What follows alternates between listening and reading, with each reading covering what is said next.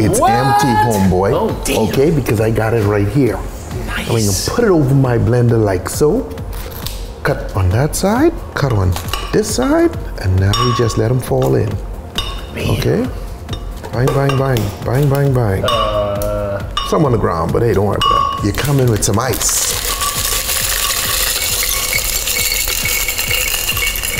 We need some rum, so we can go with Malibu, okay? Good old fashioned Malibu. Damn, look at that quart. Okay, been gun in my eye, okay? I lost count.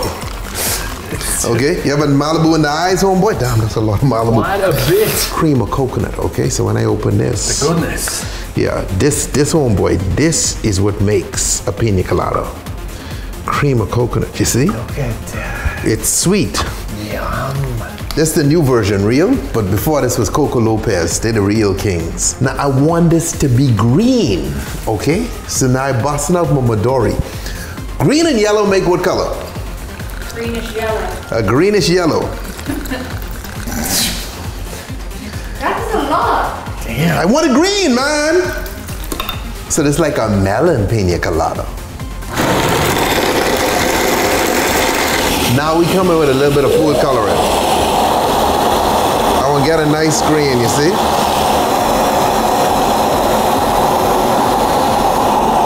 Okay. Let's give this a nice little pour. Oh yeah, dude, look at the thickness. I don't know if y'all can see the green, but it is green. It's green and it's gorgeous. I can come over to the cover like this and I can start pulling out leaves. I don't know if this hurt, but I, I'm assuming the pineapple right dead, right?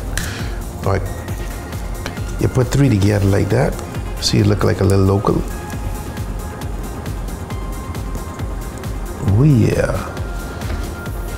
What do you think? And this 99 coconut, so it's 50% alcohol, guys. 50%. Just in case y'all don't have enough booze in there, I could come in and give you all some more, you see?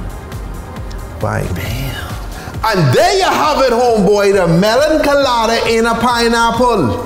Good to go. Drink responsibly, don't drink and drive. Stay tipsy.